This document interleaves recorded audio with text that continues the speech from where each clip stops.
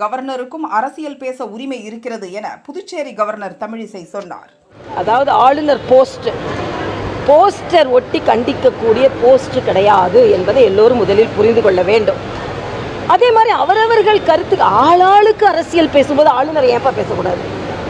அவர் பேசுகிறாரு அவருக்கு ஒரு கருத்து இருக்குது அந்த கருத்தை எதிர்கருத்தா சொல்லுங்க. இல்லை இந்த கருத்தில் எனக்கு ஒப்புதல் இல்லை அப்படின்னு சொல்லுங்க.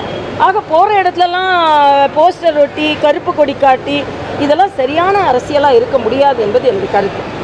யாருக்கு வேண்டுமானாலும் அரசியல் பேசுவதற்கு ஒரு உரிமை இருக்கும்போது ஆளுநருக்கும் இருக்குது. அவ்வளோதான் இது வெரி வெரி சிம்பிள் ஆக அவர் சொல்கிற கருத்து எங்களுக்கு ஒத்து இல்லை தமிழகத்துக்கு இது ஒத்து வரல. அப்படின்னு வேணால் சொல்லிட்டு போங்க. ஆனால் அதற்கு என்று அவர் வருவதை தடுக்கிறது அவர் வர்ற ஒரு கூட்டத்தையே கேன்சல் பண்ணுறது அதே மாதிரி கருப்பு கொடி காட்டுறது போஸ்டர் ஓட்டுறது இதெல்லாம் சரியில்லை என்பது எனக்கு தான் ஏற்கனவே சொல்லிட்டேன் ஆளாளுக்கு அரசியல் பேசும்போது ஏன்ப்பா ஆளுநர்கள் பேசக்கூடாதுன்னு நான் சொல்லிட்டேன். ஜென்ரல் ஸ்டேட்மெண்ட் அது. அண்ணாமலை கருத்து அண்ணாமலைகிட்ட கேட்டுக்கோங்க. பட் என்ன கருத்து? அவ்வளோதான் ஆளுநர்கள்னா அரசியல் பேசலாம் அப்படின்றத நான் ரொம்ப அழுத்தம் திருத்தமாக நான் சொல்லியிருக்கேன்.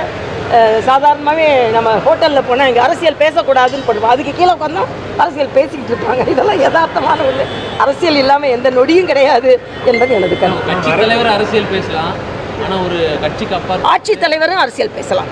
கட்சி தலைவர் அரசியல் பேசுகிற மாதிரி ஆட்சி தலைவர் அவங்க தான் கட்சி ஆளுநர்கள். கட்சியில் இருக்கிறவங்க எதிர்ப்பு தெரிவிக்கிறதும் இப்போ தமிழ்நாடு அரசாங்கம் எதிர்ப்பு தெரிவிக்கிறதுன்றது வேற.